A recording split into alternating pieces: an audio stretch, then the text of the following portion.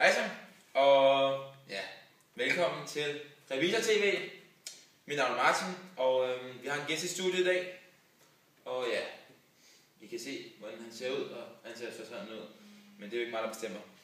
Øhm, ja, hvad står der her? Jeg skal lige se, hvad det egentlig er, jeg skal sige. Jo, han vil fremvise sin dybdegående analyse af den danske chokoladevirksomhed. Toms Ruben. Ja, og så skulle lige komme en lille præsentation af Toms. Nå.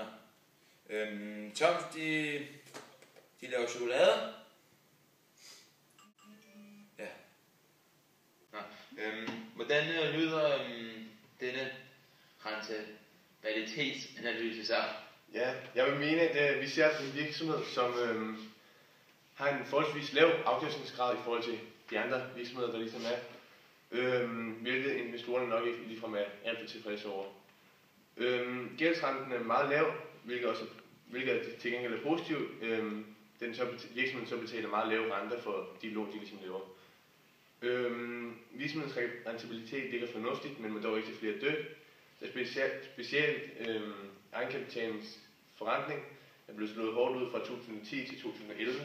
Dog er den stadig meget lidt, lidt, dog er den stadig lidt øh, over markedsrenten på 3-4 procent. Ja, okay. Det, det var altid meget spændende, men øh, hvad har du så at sige til indtjeningsevnen?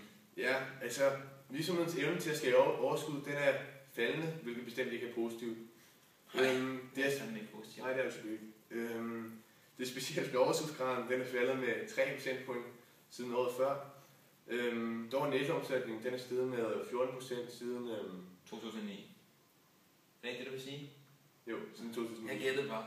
Ja, så den faldende indtjeningsevne, den skyldes, at de har øget kapacitetsomkostninger.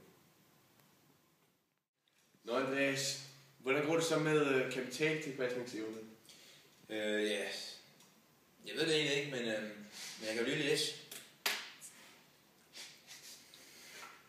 Jamen, der står her, at øh, aktivernes omsætningshastighed ligger meget, meget, meget stabil fra 2009 til omkring 2011, må det så være. Jo, der står plus to år. Så. Jo, det er 2011.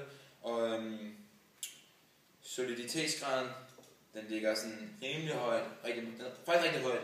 Øhm, men ja, det er jo positivt, da det betyder, at virksomheden den kan tabe rigtig mange aktiver. Ja, før det går ud over kreditorerne, ikke?